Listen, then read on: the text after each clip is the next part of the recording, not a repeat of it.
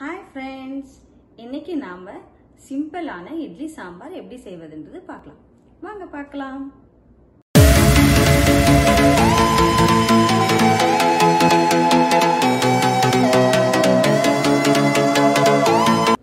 இப்போ இட்லி சாம்பாருக்கு தேவையான பொருட்களை பார்க்கலாம். நான் இங்கே வந்து துவரம்பருப்பு மூணு கப் எடுக்கிறேன். எங்கிட்ட வந்து ஃபிஃப்டி கிராம் பிடிக்கும் இந்த கப்பு இதில் வந்து நான் மூணு கப் எடுத்திருக்கேன்.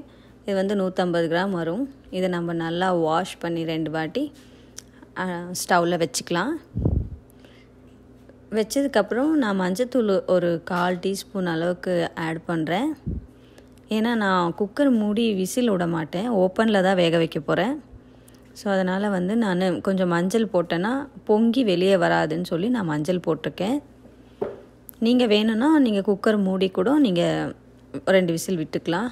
ஹெல்த் வைஸாக எல்லா நியூட்ரிஷனும் வேணும்னா நீங்கள் ஓப்பனில் ஸ்லோ குக்கிங் பண்ணால் தான் கரெக்டாக இருக்கும்.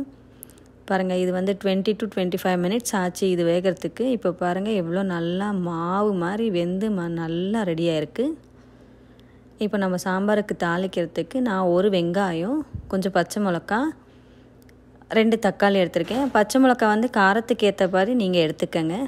எல்லாத்தையும் கட் பண்ணி ரெடி பண்ணி வச்சாச்சு. நான் கூட கருவேப்பிலை கூட வாஷ் பண்ணி வச்சுருக்கேன். இப்போ தாளிக்கலாம் நம்ம நான் கடுகு ஜீரகம் கொஞ்சம் எடுத்திருக்கேன். ஒரு பேன் ஒன்று வச்சுருக்கேன். சூடாகட்டும். இது கொஞ்சம் சூடாகிறதுக்குள்ளேயும் நம்ம எண்ணெய் விட்டுக்கலாம். ரெண்டு ஸ்பூன் தேவையான குக்கிங் ஆயில் யூஸ் பண்ணலாம். நான் வந்து இரும்பு வானல் தான் யூஸ் பண்ணுவேன். எல்லா குக்கிங்க்கும் சப்பாத்தி தோசை தாளிப்பு பொரியல் செய்கிறதுக்கு எல்லாமே. இப்போ ரெண்டு ஸ்பூன் வந்து நான் கோகனட் ஆயில் யூஸ் பண்ணுறேன் வர்ஜின் கோகனட் ஆயில் இது வந்து ஹெல்த்துக்கு ரொம்பவே நல்லது. இப்போ கடுகு போடலாம்.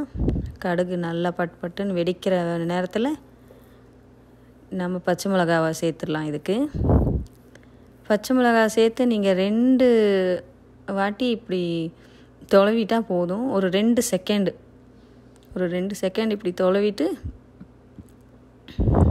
வெங்காயமும் கருவேப்பிலையும் சேர்த்துடலாம்.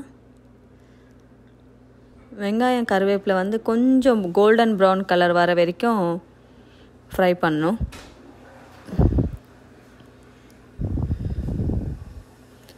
ஐரனில் நீங்கள் சமைச்சு சாப்பிட்றது உங்களுக்கு ரொம்பவே ஹெல்த்துக்கு நல்லது.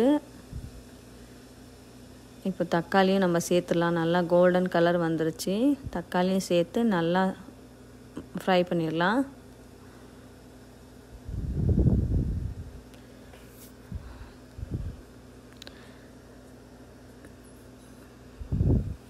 இதுக்கு தேவையான அளவு உப்பு கல் உப்பு யூஸ் பண்ணுறேன் நான் இங்கே. உங்களுக்கு எந்த உப்பு வேணுமோ அது போடுங்க. கல் உப்பு வந்து நல்லது. ஸோ எனக்கு வந்து கல் உப்பு பிடிக்கும். கொஞ்சம் நான் ஒரு கொஞ்சமாக ஆல்ரெடி பருப்புலேயும் நான் மஞ்சத்தூள் போட்டிருக்கேன். இதுக்கு சாம்பார் பொடியெல்லாம் எதுவும் போடாததுனால இது கொஞ்சம் நல்லா கலராக இருக்கணுன்றதுக்காக நான் கொஞ்சம் மஞ்சத்தூளும் போட்டிருக்கேன். கொஞ்சமாக ஒரு கால் டீஸ்பூன் போட்டு நல்லா இப்படி சுண்ட பெரட்டியாச்சு. இப்போ ஃபைனலாக வந்து பெருங்காயம் கொஞ்சம் போடுறேன் நான். கொஞ்சமாக போடுங்க. பெருங்காயம் போட்டு நல்லா மிக்ஸ் பண்ணி நம்ம பருப்பில் எடுத்து மிக்ஸ் பண்ணிக்கலாம் இதை. அவ்வளோதான் இப்போ எடுத்து மிக்ஸ் பண்ணிக்கலாம். பாருங்கள் நான் கருவேப்பிலை ஸ்டெம்மெல்லாம் கூட நான் வேஸ்ட் பண்ண மாட்டேன். அதெல்லாம் கூட ரொம்ப நல்லது ஹெல்த்துக்கு ஸோ அந்த பருப்புலேயே போட்டு கொஞ்சம் கொதிக்க விடுவேன்.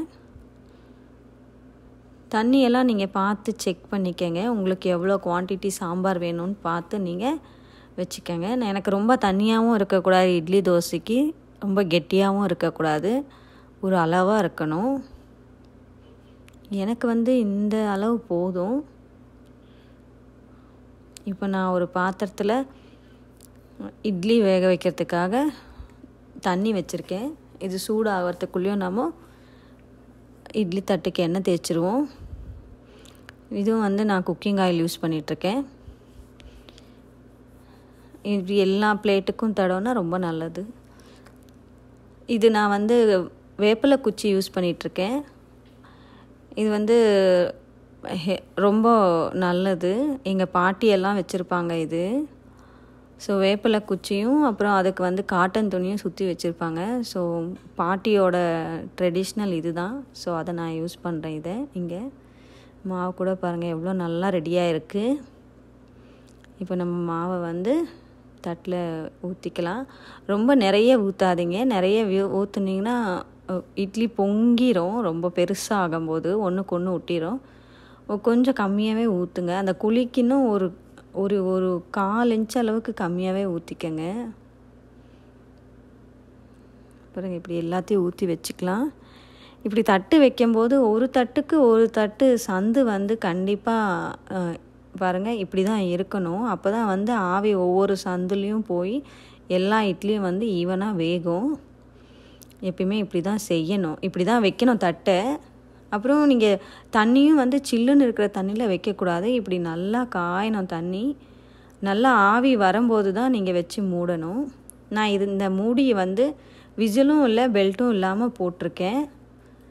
ஸோ இது ஒரு பத்து நிமிஷம் ஆகும் வேகிறதுக்கு. ஒரு ஏழு நிமிஷத்துலேயே நம்ம பார்க்கலாம் வெந்திருக்கான்னு. இது பாருங்கள் சாம்பாரும் இந்த பக்கம் கொதிக்க ஆரம்பிக்குது. சாம்பார் ஒரு ரெண்டு நிமிஷம் கொதிக்கிறதுக்குள்ளேயும் இட்லியும் ரெடி ஆயிரும். இப்போ தான் கொதி வருது. இது கூட ரொம்பலாம் கொதிக்க வேண்டிய அவசியம் இல்லை. சும்மா ஒரு கொதி வந்தால் போதும். பாருங்கள் இந்த ஸ்டேஜ் இந்த இப்படி நல்லா கொதிச்சுதுன்னா போதும். இந்த ஸ்டேஜ் போதும் நமக்கு. இதை ஆஃப் பண்ணிக்கலாம் நம்ம இப்போது இட்லியும் நல்லா புகை வருது பாருங்கள் ஆவி பாருங்கள் எப்படி வருது. இந்த ஆவி ஸ்மெல்லே உங்களுக்கு சொல்லும் இட்லி ரெடியாக இருக்குன்னு அப்படியும் உங்களுக்கு தெரியலன்னா இப்படி ஒரு கத்தியை வச்சு நீங்கள் இப்படி இட்லியில் குத்தி பார்த்தீங்கன்னா இட்லி வந்து ஒட்டவே ஒட்டாது கத்தியில். ஸோ பாருங்கள் இப்படி ஒட்டலைன்னா இது ரெடி ஆயிடுச்சின்னு இப்போ நம்ம எடுத்துடலாம் இட்லியை. பாருங்கள் எவ்வளோ சாஃப்டாக பன்னு மாதிரி வந்திருக்கு ஃப்ரெண்ட்ஸ் இங்கே பாருங்கள் எவ்வளோ சாஃப்டாக இருக்குது ரொம்பவே நல்லா இருக்குது நான் இட்லி மாவு எப்படி பண்ணுறதுன்னு நான் போடுறேன் அடுத்த வீடியோவில் இதை கட் இதை எடுத்துட்டதுக்கப்புறம் நான் புட்டு காமிக்கிறேன். எவ்வளோ அருமையாக மல்லிகைப்பூ மாதிரி இருக்குன்ட்டு உங்களுக்கு காட்டுறேன். பாருங்கள் எவ்வளோ சாஃப்டாக இருக்குது பாருங்கள் பார்த்தீங்களா எவ்வளோ சாஃப்டாக இருக்குது நான் இட்லி மாவு எப்படி அரைக்கிறது என்ன மெஷர்மெண்ட்டுன்னு உங்களுக்கு போடுறேன். இது பாருங்கள் இப்போ நான் சாம்பாருக்கு ஃபைனலாக வந்து கொத்தமல்லியை தூவி ஒரு கலக்கு கலக்கி நம்ம இப்போ சர்வ் பண்ணலாம். ரொம்ப சிம்பிளாக ஈஸியாக சீக்கிரமாக முடிச்சிடலாம் இந்த சாம்பாரை. பாருங்கள் கலர்ஃபுல்லாக அருமையான சாம்பார் ரெடி சாப்பிட்டு பார்த்துட்டு எப்படி நீங்கள் செஞ்சு பார்த்துட்டு எப்படி இருந்துச்சுன்னு எனக்கு கமெண்ட்டில் சொல்லுங்கள் தேங்க்யூ ஃபார் வாட்சிங் அடுத்த வீடியோவில் சந்திக்கலாம். பாய்